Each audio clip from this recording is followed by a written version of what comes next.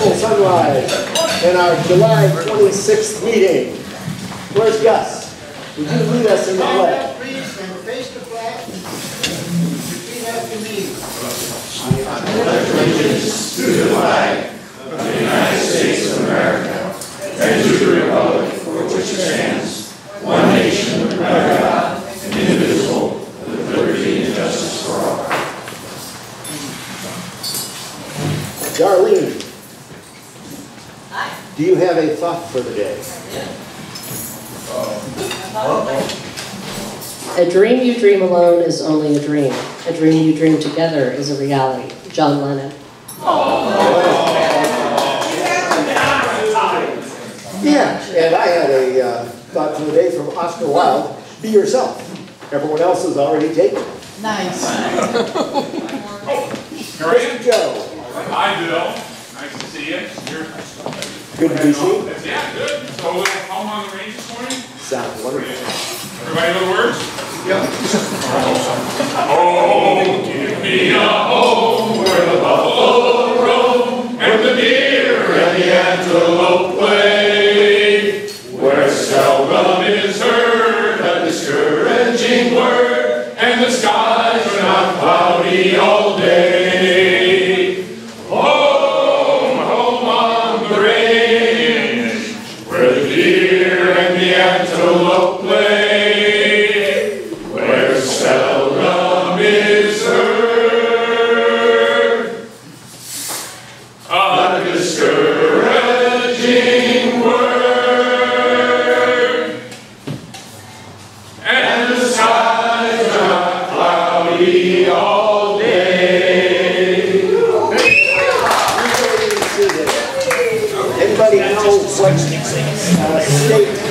represented by, yes, that's a state song for one of the states.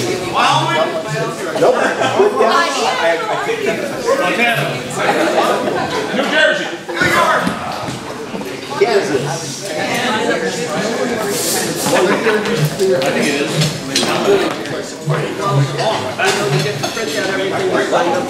Mr. Brian, Powell.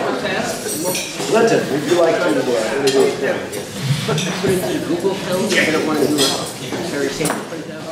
Brian is going to vocalize about vocation. And he has our, our full attention. Where's the introduction? Brian got a haircut. Bill. Bill, well, you gonna introduce anybody? Repair, and you got shorter and shorter. We are visiting Rotarians, sorry about that. Well, that could be Brian. Uh, we have a couple of visiting Rotarians, and I would like us all to give us a warm sunrise welcome to Ruthie Dunlap and Jack Dunlap from the Noon Club. Thank you. And Jack uh, is a utility engineer and Ruthie a physical therapist. So again, thank you for coming. Any guests? And guests, do we have guests this morning? Good morning. I'd like you to welcome my guest, Lana Brogan, who is the Executive Director of the Healthcare District. So you know that I'm in her corner. I hope you are too. Thank you. Good morning. I'd like to introduce two guests. One, our speaker this morning, uh, Assistant Sheriff Rob Giordano, who will be taking over when Steve Freitas retires, and the new head of the Community Engagement Unit of the Sheriff's Office, Misty Harris. I missed I got that wrong. Community Engagement Liaison. Perfect.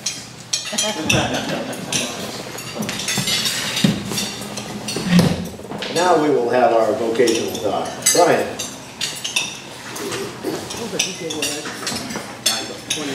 All right. So I have just a couple minutes. Um, my vocation is, is mostly high-tech marketing. So I grew up actually way back in the, um, what we call the orange skies, burning eyes, uh, Southern California, if you guys remember that. It was horrendous, like the skies were orange all the time. Um, so that's where I sort of developed the, the desire to clean the air, do alternative energy, do things that are gonna clean the environment. Um, I actually went to um, school at Stanford, and they really encouraged um, to do standard fundamental engineering. They didn't have anything like alternative engineering, I think, back then in those days. So I studied mechanical engineering, and I went into the market. Silicon Valley at the time, there's no not a lot of mechanical engineering. It was mostly uh, jobs in, in defense, because it's Reagan years, and there was. A, So I went into marketing pretty quickly uh, because I was able to communicate technology, and um, I didn't think I was very good mechanical engineer. So, so actually, um, I did a lot of telecom marketing, uh, telecom systems, like the big boxes you see on the side of the road, or the boxes in the telephone pole. I've marketed those all over the world for a long time, and those were that was fun. That took me all over the place, and then what brought me here was Telecom Valley. So I thought, wow, I always wanted to come to Sonoma County because it's so exciting. Um, so, but there was nothing, there was no technology here. But that just happened to happen in 1999. So while I was living in Europe, um, we saw that, we wanted to come back home, and we came here. So there's this Telecom Valley with 10,000 employees and all these companies. It was booming like mad. And uh, that lasted a good year and a half. it was a bust, and everybody sort of went, went away. Any younger kid now doesn't even know what Telecom Valley is around here. But so soon after that, Dan, myself, and Chris Day, we started a company in chips. I chips for fiber to the home networks and cable TV networks. That did really well. Now there's like 80% of the video that you see in this country goes over goes through one of our chips somewhere. So that was that was wonderful. Um, we made all our investors money. We wanted to make them more money, but then, but I also wanted to get back more to um, what I really wanted to do is green technology or alternative energy, um, clean the world up. Uh, so, just about two years ago, I joined up with another person who had been studying technologies all, over- all over the world this place, and we worked together at Advanced Fiber Communications, one of the telecom companies and we started a company, Resynergi. And what we do is we actually take waste plastics, so junk plastics, that 90% of plastics are not recycled. We think we're doing some good when we throw in the bin, and a lot of that is, but most of it is not. Um, and that's, there's plastics coming from all over the place. Uh, there's a lot of studies recently. There's about 30 million tons uh, thrown out every year in just the US alone. So what you can do with that is that comes oil that comes from oil, and they're elongated chains. Um, the oil is elongated into long molecular chains, which makes plastic. So what you do is you just heat that up, just heat it up. Um, you break those chains down, and you bring it back into oil. So it primarily comes out as diesel, about 70-80% diesel fuel. So we have this system. It's a here to that wall. It's in a 20-foot container. Um, it's really compact compared to what our competitors are doing. We use microwave technology to actually do the heating, so it's really compact, just like your home microwave. It's much faster, much more efficient. We're able to insulate that really well for really low losses. So it comes out very clean and very efficient. Uh, and because we don't actually burn, it's, it's just heated without oxygen, uh, there's very, very little CO2. So what we're doing, what we're breathing here in the room, that level of CO2 is about uh, that would support all Sebastopol's plastic waste. Um, so this system, these, each one of these um, costs about $300,000 uh, per ton. So each customer will do somewhere around 20 to 40 tons a day of processing, and there are thousands of these customers. Um, so we are in the lead in the market as far as compact systems where you can put one of these down in a recycling center and have things processed right down to the five to 10 tons a day, which is a pretty small amount starting point. Most people, again, like our 20 to 40 tons that we're targeting. Um, big, huge sites will do you know, 100 tons a day. But anyway, we're, we're really well positioned. Um, at some point, I'll, I'll show you, give you an update when we, when we really go big, but this is, this is thinking really big. Um, and sort of my philosophy on, on life is one, two things. One, I'm really grateful and alive every second.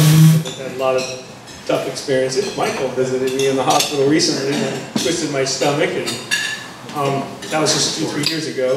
Uh, I lived in Africa for a couple of years, and um, seen um, you know, polio is a pretty gnarly thing, but leprosy, when you see it in the streets everywhere, and you see, that's a country that was recently 84% unemployment. We visit enough places like that, and then with Rotary as well, you, you just have a great appreciation for life. Um, my parents, I'm going backwards in time, but my parents were divorced when I was five, six years old. And it kind of, my dad took me all over California to see a bunch of, I was a hippie kid, basically. And then I lived with my mom, and she was in the poorest parts of Sacramento. So I lived like in the ghetto. I fought, like if I had a gun, I would have used it, but I used chairs and other things in classes to fight with kids. I was in first grade. Um, it was it was brutal. So coming out of that, I just want to thank my stepfather pulling me out of that, putting me more of a Brady Bunch environment, and I was able to see what a stable life is. Uh, he, he's the one who took me to Africa, and he's the one who told me um, I want to be, become a professional football player or baseball player. That's what I really wanted to do. And he says, well, guess what? Those guys usually they go to a good college and they get noticed at the college. So you should get good grades. Said, oh, okay. so I did that, and then um, I always wanted to go to UCLA, and I got in there, but then I, people told me you should apply for this Stanford thing or whatever. I'll do that. And then I got in, and I go, oh, shoot, I'm gonna have to go here. This is this would be a great place. So that that really changed my life a lot, and, um, because of all those experiences and the tough parts of it, I'm I'm just grateful I I'm alive, standing every day, and didn't become a football player, but I, I ride my bike all the time and do great stuff. So anyway, that's it.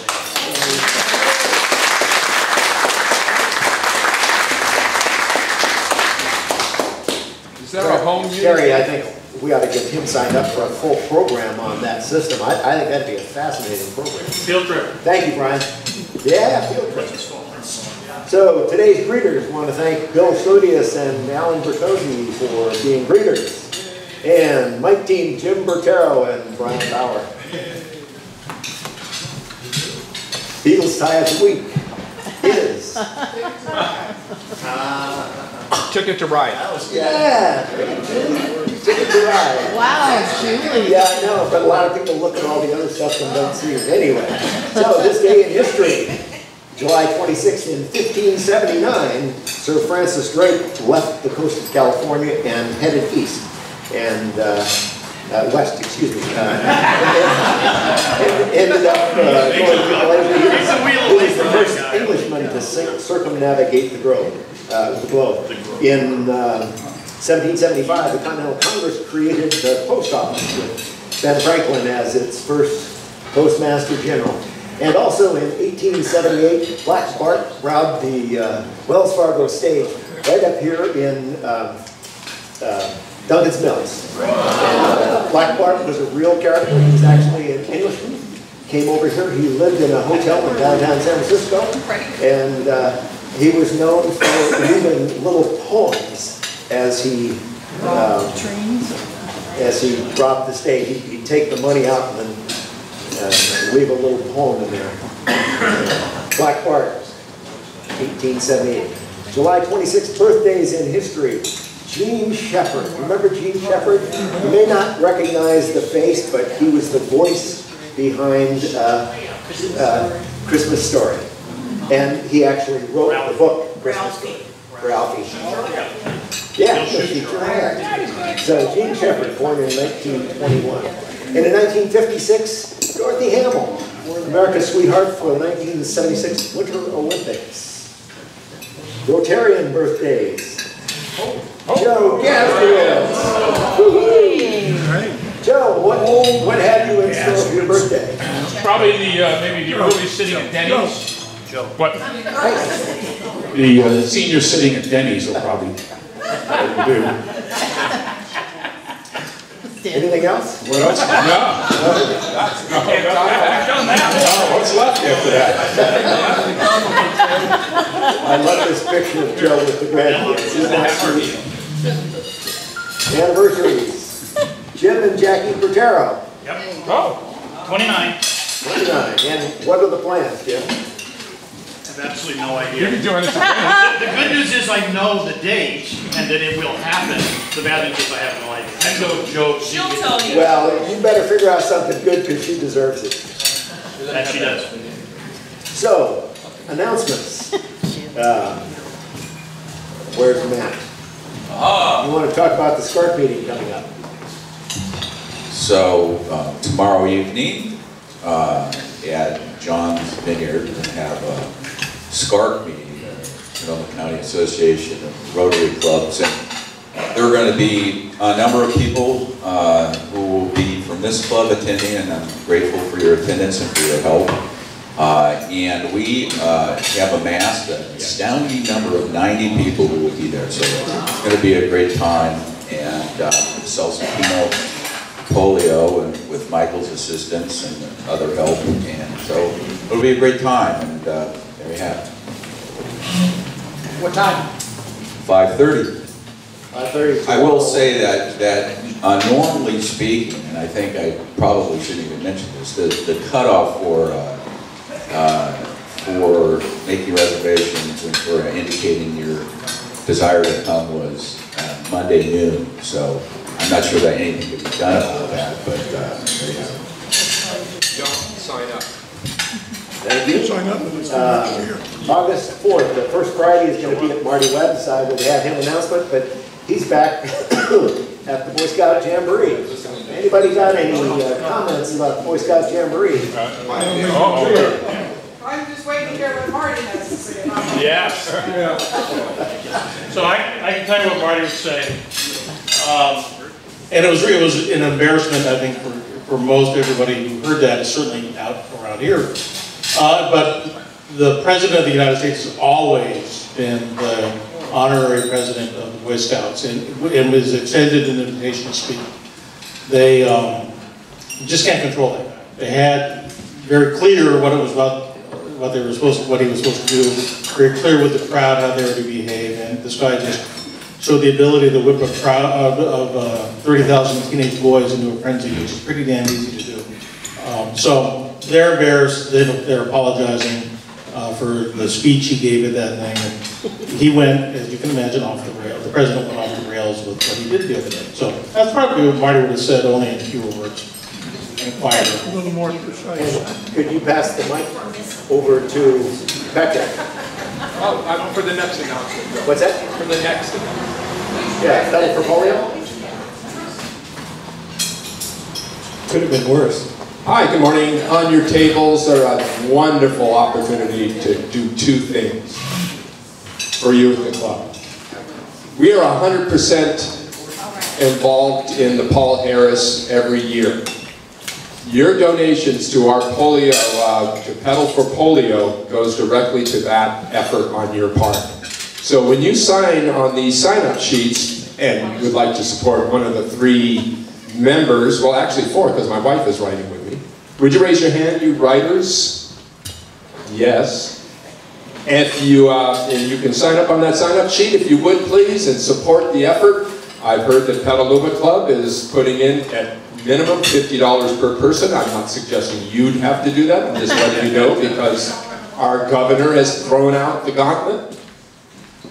And let's see, we're going to be writing from the uh, 13th, or the week of the 13th, for those six days. So we'll drive it up to Crescent City on a Sunday, and then we're riding for six days.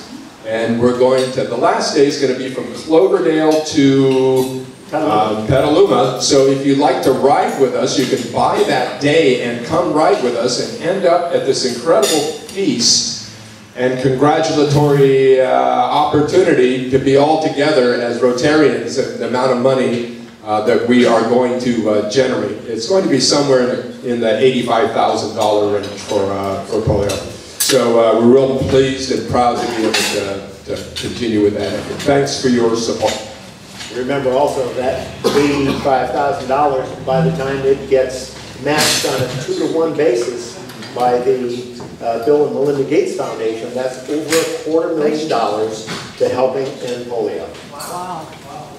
Tiny little Sebastopol, tiny little uh, District 5130 in the first month of the year can be raising a quarter million bucks. Yeah, yeah. Uh, Also, on August 19th, um, at the end of the ride, the, you don't have to ride in order to come to the celebration. You're certainly welcome to. Uh, On that last day, you can go all the way from Cloverdale down to Conneaut, it's about 50 miles. If you don't want to go that far, you can pick us up at um, Veterans Memorial Beach in Healdsburg, you know, right on the river there. We're gonna stop there, have a brief break, pick up additional riders. Then we're gonna drive down to, ride down to um, Juilliard Park, where, what's happening at that time? The bocce ball tournament. So the district bocce ball tournament is happening there. So we're gonna pick up additional riders, plus have a whole bunch of people that are already there, uh, probably starting to drink at eight o'clock in the morning. And we're gonna meet there and pick up additional riders and, and then come on down. And then once the bocce tournament is done, they're gonna come down and join us all at Lucchesi Park. So it's gonna be a good time. Uh, Joint Sebastopol Rotary Picnic. Michael?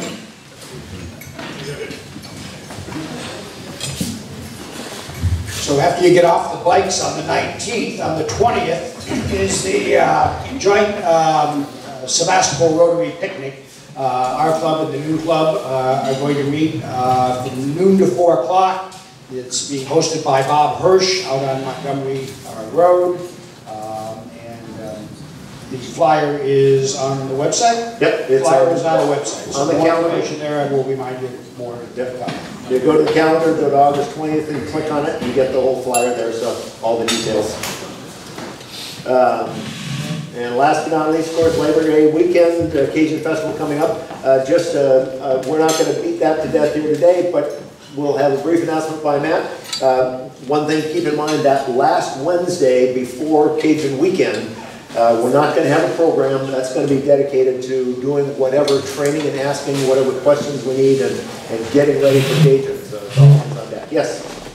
Um, so, uh, we really appreciate all the effort that has already gone into, uh, the Cajun Festival. We had a meeting last night and appreciate the attendance. And we will be calling upon you. We've got your name and we have your number over the next month to help a little bit with the effort. We figured out a way to streamline the volunteer, uh, effort and to make sure that the club is not overworked or overburdened with this festival. And Terry will be knocking on your door, and we hope you respond. But uh, we've got a great lineup. Michael and um, Scott have assembled a wonderful world-class Cajun Zydeco and Rockabilly lineup featuring Gino De La the first day, who's a legend in the Zydeco community, and we're really delighted to have him, as well as Phil Alvin and the Blasters the second day Rockabilly. So it should be a great show. Our costs are running something on the order of $5,000 less than last year, and our sponsorships are up. So it's looking pretty good, and uh, uh, we're very optimistic, and one way or another, we're going to have a great party and a great fundraiser. So the, the promotional effort is really underway. The radio ads are going to be starting in another week or 10 days. Uh, newspaper ads have already been running. We've got a full-blown Facebook campaign going. Uh, we're over 700 likes now uh, on the Facebook page, so that's really good. That means you guys have been sharing. Uh, it's really important from this point on, when you see one of the posts that come through on your, on your um, um, timeline there, uh, be sure and share it, please, so that we get the word out even more. Uh, We're reaching like, you know, 25, 30,000 people a week now with our, uh, with our blasts and boosts. So we're reaching a lot of people, and hopefully that's going to convert into sales. And it'll only happen if we all spread it, so please do. Um, We have uh, another couple announcements, but before we do, I just, uh, Wayne is back. I didn't even see him. Wayne! Wayne! Good to see you. Any John report? Well, it's good to be back. I feel great, things are going well. Good to see you. So, thank you, Bill, for addressing that. And uh, if anybody's free Friday, I need to go to San Francisco, so I need a ride. Okay. Anyhow. Well, listen, wh- while you're wait, while you're standing, Wayne, welcome back. Wayne didn't make it to my uh, debunking, where uh, all of my uh, uh, board members got their rockets, so I brought your rocket.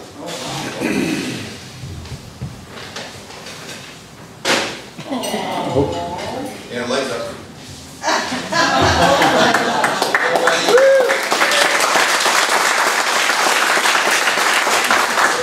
Let's try and turn it off now. Good luck. That's your nice one. Yeah. yeah, that'll keep you awake.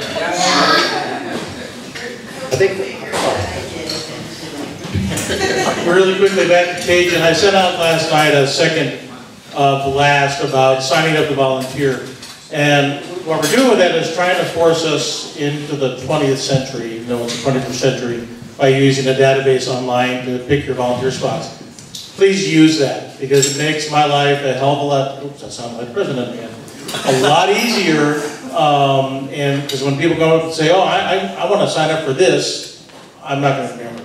So please use that, and you can take that thing that I sent out last night and share that, there's that word again, share that with your friends or people who you think may want to volunteer, and they can use that link and go right to the site and sign up. So it does make, it's much easier, we can manage it better, but we need to have you take advantage of that um, modern technology.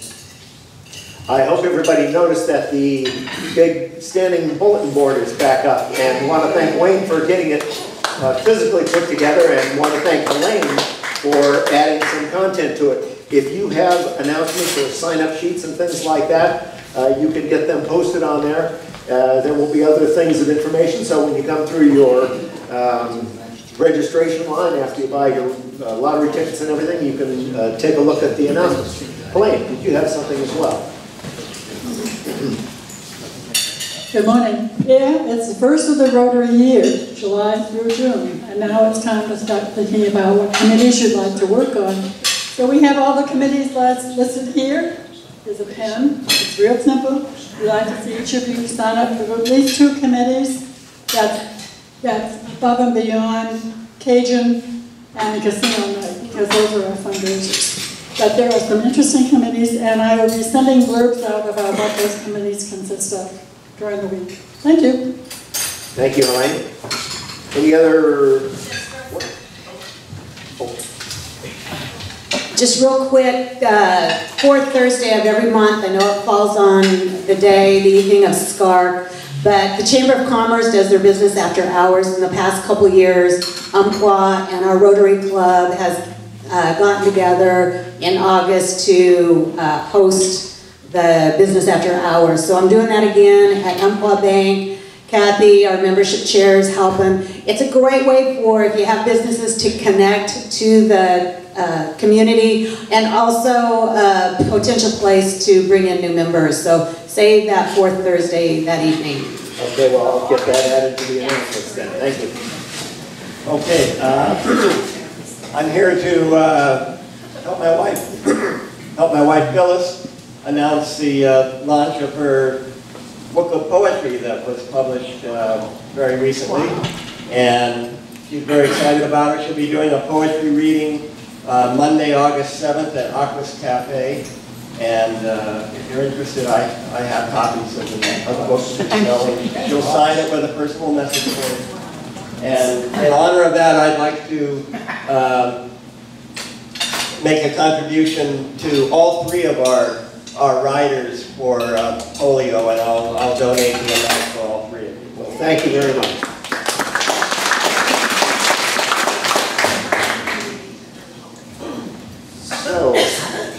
Me.